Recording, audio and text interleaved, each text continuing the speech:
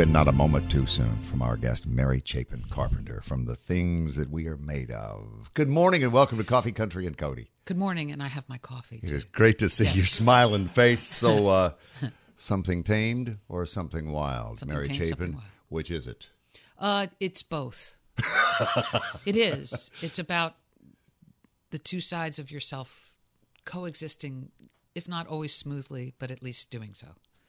What else are there but the lessons in your heart? Something tamed, something wild. Love that line. Mm-hmm. Thank you. And the first verse and chorus of that. Thank you. And it's been how long since new music? Oh gosh, the heart. Uh, uh, uh, well, I put an orchestral record out Uh huh. uh, two, three years ago, but those were existing songs. So I'm going to say, I'll probably get it wrong, but I'm going to say five years, maybe. Uh, on average, it's about three, but it's a little longer this time because I had that orchestral record between. And the interesting thing this time, we just had him on Coffee Country and Cody and our Evening of Stars at the Country Music Hall of Fame. Dave Cobb. Oh, what a great! Working famously with him. He is the go to guy in this town these days. And uh, just finished this new Southern Family project Yes. that's Cracker Barrel has an exclusive on it that comes complete with recipes, by the way.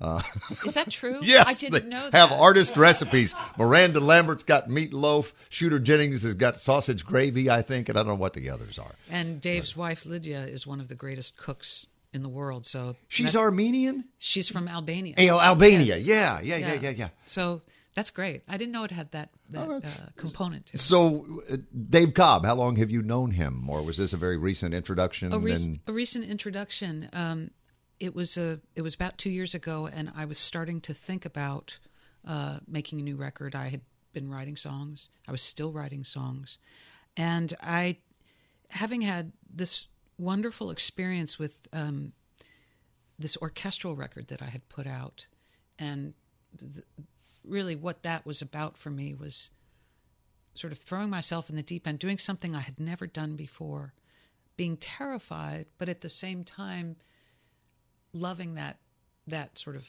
terror. And if we can do that, and I think we can, you know, just wanting to just get out of your comfort zone, mm-hmm. and that experience made me want to turn a new page and just do something different, work with different people. The idea of just learning something new is is just tantalizing to me. Uh, it's it's a magnet. So uh, my publicist, who I adore and trust so much, said, "I think you should meet with Dave Cobb." And I was familiar with him at that point for uh, his work with Jason Isbell, the first record that they had done together, and that was all I knew. Um, and so I was on tour and I flew to Nashville for the day, and he just invited me to come over and hang out at his house. He's got a little studio there. So I did. Uh, we just sat around and talked about the artists that we grew up listening to. Um, he's a he's a comfortable conversationalist, isn't well, he? and he's he knows more about music than probably anybody I've ever met except for Eddie Stubbs. you know, seriously. Which we're going to get the DC connection here in just but, a little but, bit. But Dave knows so much about so many different things, and uh, we bonded over the Beatles, over country music, over folk music, over things that we just grew up listening to, and I just had a really comfortable time talking to him, and that was it. I didn't play him any songs. I didn't, you know, we didn't talk about really, you know, ideas of what we would do. It was just more like, who do you like, and you know, w- what have you been up to, kind of thing. And that that sense of ease was so appealing to me, and uh, and and I was just so thrilled that he wanted to work together. And so that's how it happened. It was very simple.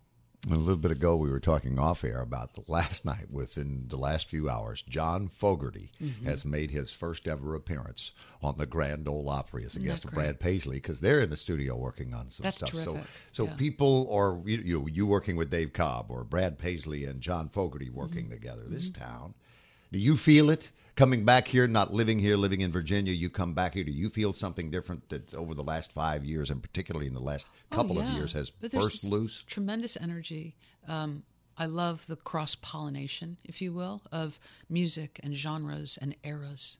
That's that to me is uh, respecting the past in order to create the future. I think that's wonderful. Mary Chapin Carpenter is here. New music, the things that we are made of. Coffee, Country, and Cody. So uh, you did a podcast with my sidekick, co-host, producer to the stars, showbooker to the stars, Charlie Matos yesterday. And how was it to to find out? You referenced Eddie Stubbs a moment ago. Somebody who you off again off air a moment ago said, actually, he knows stuff that don't remember, and I need him. Right. That He's my is Charlie pers- Matos across the way over there. I need to hire him as my personal archivist. uh, he he really he's you know he's a tremendous fan of music, and uh, he I've been fortunate enough that he's followed me, and and uh, he he and I had a ter- terrific conversation because he has a lot of anecdotes about performing, touring, recording, uh, other artists that I've worked with, and and he's seen it, so. It was really fun. It was a. Tr- it was really, really fun. You've seen her more than anybody else in the whole wide world. Charlie. Yeah, as I told Mary Chapin yesterday, I'm one of those who keeps uh, ticket stubs, Yeah. and I have the old magnetic photo album with the sticky cardboard and the little cellophane that comes on top Oh, of yeah. it. So the cardboard has yellowed all around. By But the way, ticket you'll never stubs get still those go- out of there. No, no, no. But the, the, the ticket stubs still look good. So uh, it's easy to count. And I've seen Mary Chapin 12 times. I've seen Tom Petty 11. However, you need to come to Nashville because I have tickets for Mudcrutch at the Ryman, and that's Tom and Benmont and Mike Campbell. Right, so right. It's so that be great. that will even things. So we Well, Make sure you tell, make sure you I'm tell okay Eddie. Eddie Stubbs you're going to see Mudcrutch. And just be, have a camera close He'll- by he'll- so I can see the reaction. he'll I appreciate that. Yes. So What is it with the DC scene and Nashville? We think about people coming here from the South. We think about people coming from Oklahoma and Texas through the years and have made their mark. But You know, I think people. Uh, it depends on who you're talking to, obviously. because this goes back to the Stonemans, doesn't But- it? When but- they have been the, the original folks that people came out of that area that people knew nationally. well, I think that you know, again, it depends on who you talk to. Okay. It depends on what their reference points are. But I think Washington is considered a southern city, the way Baltimore is considered a southern city. Yeah. Uh, they're close together, but DC has had its its its moments as well. For example, and we were talking about this yesterday. Um, as the bluegrass capital of the world in the 70s, uh, before that as well. And, you know, and then in the like early 80s, you know, go-go music, all, a lot of things have, have sort of, you know, been around, but, but DC has had really wonderful and healthy sort of scenes. Every city has their own scene. You have to live there, I think, in order to be aware of them. But DC definitely with bluegrass.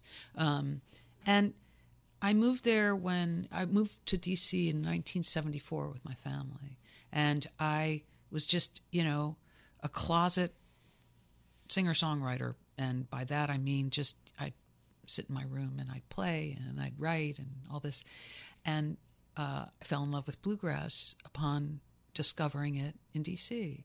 Um, you know, it just so the connection is there, and then we have we're lucky to have uh, an incredible place called the Birchmere, which is known far and wide for its uh, its stage and presenting world class artists of really every genre. But years ago, the Seldom Scene had a you know thousand year residency every Thursday night at the at the Birchmere, and and that I think in large part fueled uh, its sense of being the bluegrass capital of the world.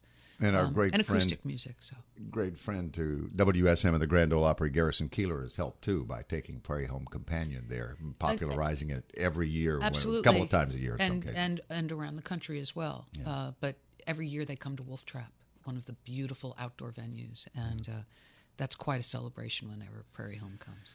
And I think about the Stonemans, I referenced them, and Emmylou Harris's connection there, and Mm-hmm. Yes. more recently Eric Brace, who has moved to Nashville and came out of that DC scene, Right, and, Eric the Whites and, Emmy Peter, Lou they- and on right, and on. right. They just they just released an album that's a tribute to the Birchmere and all the artists that they saw there. So wonderful. Mary Chapin Carpenter is here. The things that we are made of. We'll continue in just a moment of break.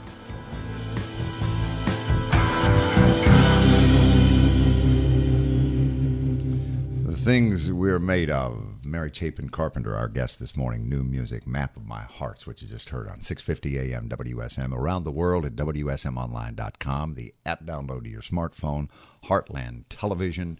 This is being, as uh, Charlie's podcast yesterday, this is being filmed as well that you will be able to see at WSMOnline.com. When is your podcast going to be up, Charlie? When you I will have that up uh, by about 5 a.m. tomorrow morning. Oh my God. Yes.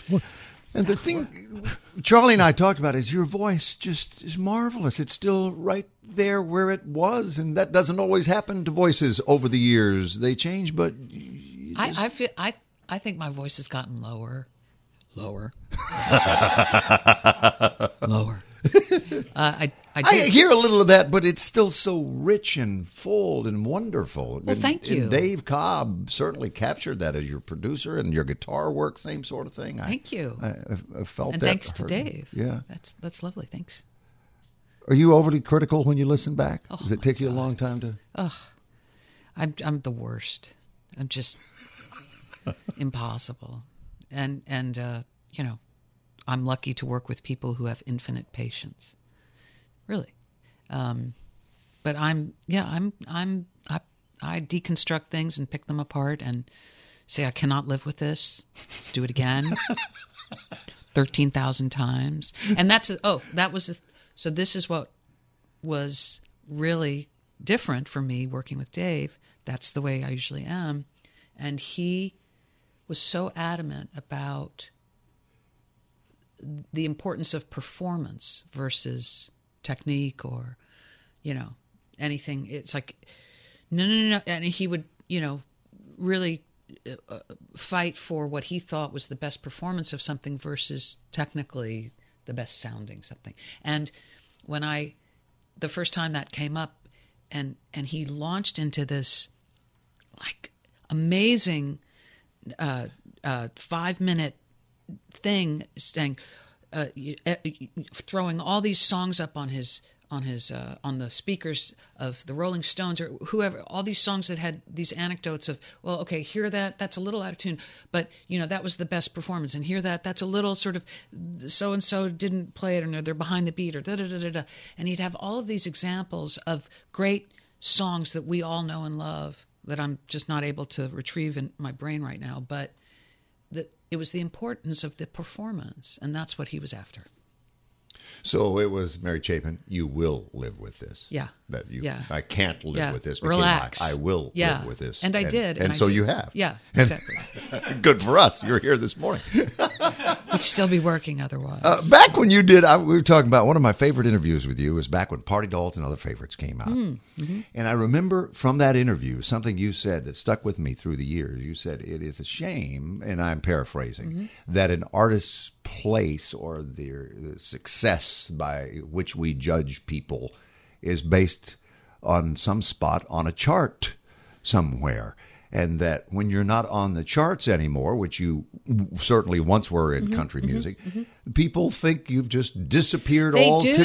They and, do. and has social media changed that, do you think? And is that one of the biggest changes you've seen in your career? Well, I think social media is a tremendous tool. I, I think it's a great thing to be able to, uh, you know, speak to the world. Uh, but even with that and the reach of it, people do. They just kind of. I think they zone. They have these.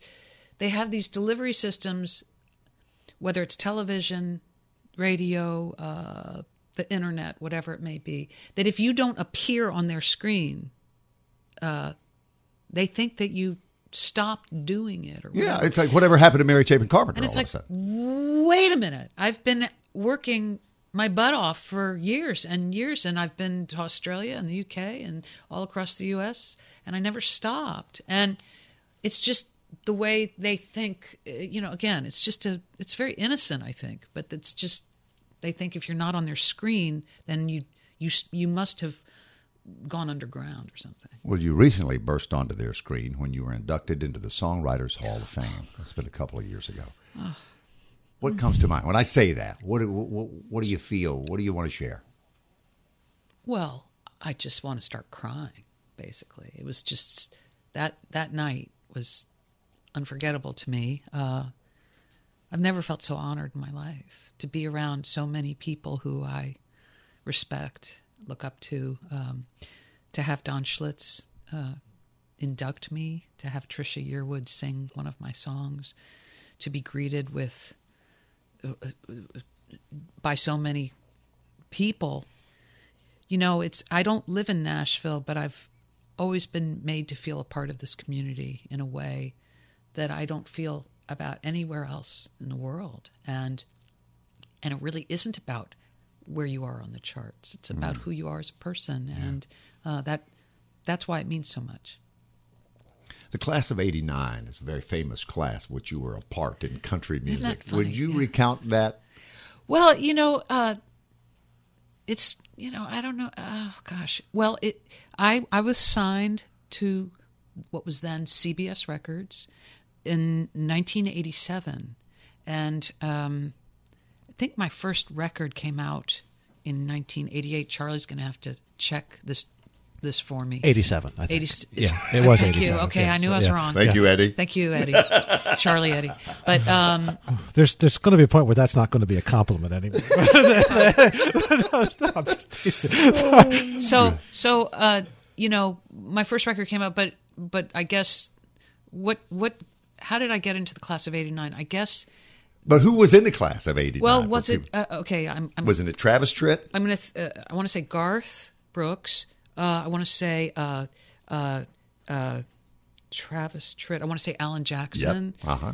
and i don't know who else to say With just all these people in that particular class that people look back on that 89 90 period, Uh-huh. crossing into the new decade, where people went on to success we had not seen Mm, mm-hmm. in the history of country music out of that class of, Right. of folks that you were in. And, and it's really ironic that people still remember that particular class. And it's for obvious reasons, uh, destined for the Hall of Fame for some, some are already in there, in the case of Garth Brooks. Mm-hmm. And, um, that you were here when all that was going on. We talked about how exciting Nashville is now, and it's the it city. We've got a primetime drama, Yeah, yeah, ABC yeah, TV's Nashville, which is just bringing people here in droves. People are coming to visit, and then they say, "You know what? We're going back home, packing up, moving to Nashville. Don't know what we're going to do when we get there, but we're going to move to Nashville because it's there's something magic going on there." And it was kind of that way in in '89 and '90 in the industry. It seems right to me as you uh-huh, look back. uh-huh. well i just you know i i i just look back on those days and i'm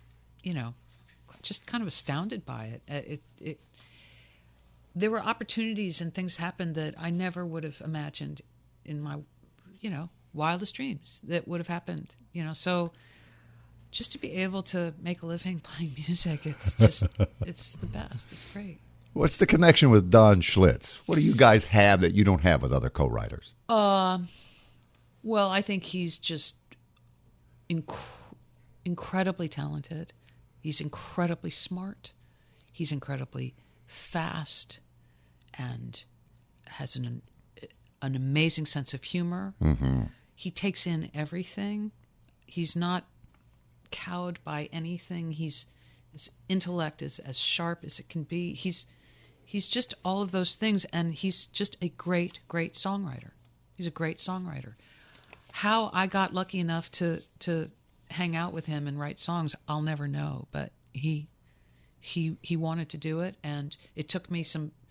I, I had to be persuaded because I was really intimidated by the idea of sitting down with someone. I had never co-written with anyone. I I saw it as this solitary task, mm-hmm. you know, just looking at my pad and my paper and and I learned so much from him that I took back with me into my own songwriting. But certainly in the in the um, context of co-writing, things like um, well, first of all, he's very adamant about having perfect rhymes. You know, again and bin would not work for him. Um, but but when you when you work with someone, he I would like I'd be you know hunched over my pad and sort of muttering to myself. And he'd say, "No, no, no, no, no, no! Say it out loud. You have to share everything with me." And I, mean, for me, it was I was gibberish kind of thing, but he wanted to hear all of it, and that's how that's how he connects with someone, and it was great. Mary Chapin Carpenter, if you just joined us, The Things That We Are Made Of is the brand new music available wherever you buy or download music right now. I moved to Nashville in late 1990, and that was really my introduction to your music because I was a few years behind. But my parents were massive country music fans. They grew up in Cumberland, Rhode Island, about six miles from Brown in Providence. And uh, when there was nothing good on television, uh, my dad would tape everything. So they would watch old TNN shows, old award shows. So I was home visiting them one time, and, and they were watching the 1990 CMA Awards. And my dad suddenly goes, Oh, you're going to love this part. She gets some good here. Watch this. Listen. And that, of course, was the opening. Oh act. gosh! Oh my gosh! Amazing. Could you take me back to that night, though? Because in hindsight now, it's witty, it's charming, but I think you lose, for lack of a better word in part of my language, but you lose the ballsiness of doing that on the CMA Awards. I can't imagine what that night was like. Well, you know, that that song was a, s- a no- a- a novelty song Uh-huh. that I wrote, uh, and it was, uh, you know, had more edge and a little nastier, a little bit more pointed in its original version. And one night, Irving Waugh, the, the great Irving. Irving, who was Lad. the longtime producer of the CMAs, he came to see our show at the at the Birchmere, and I played that song that night. I just written it as a joke. It was just a joke, truly. And then months later, I get this phone call saying, "We want you to come sing sing it on the CMAs," and I was absolutely no, I can't. I can't because it's nasty and edgy, and I couldn't do that. And I couldn't imagine them. I couldn't imagine how you could clean it up enough to make it work. And then why would you want it anyway? You know.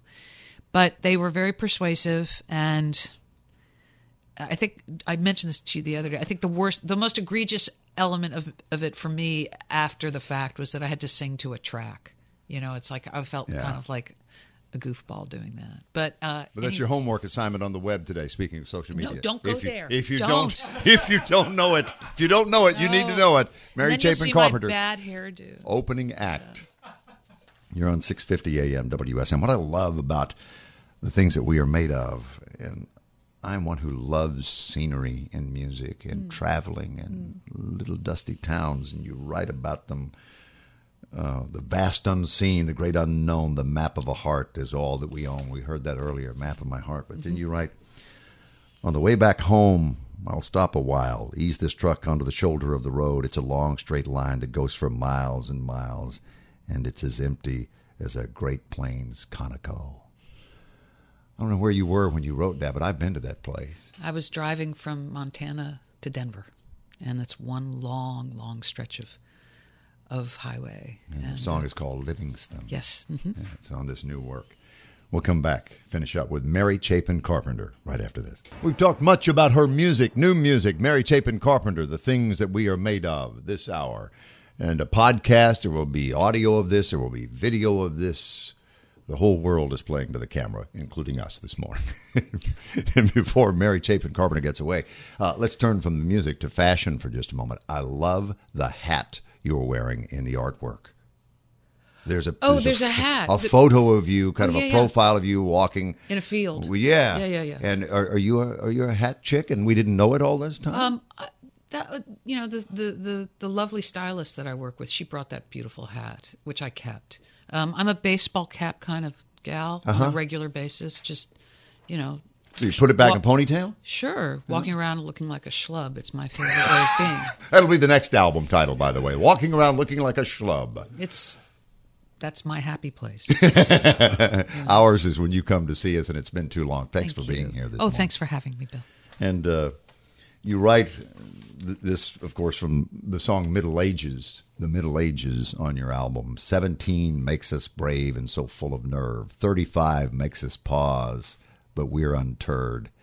Never say die, and so we push on. Yes, we do. Push on, Mary Chapin. Thank Carpenter. you. Thank you for being here. Thanks. Hi, this is Bill Cody from 650 AM WSM. Thank you for watching our YouTube channel.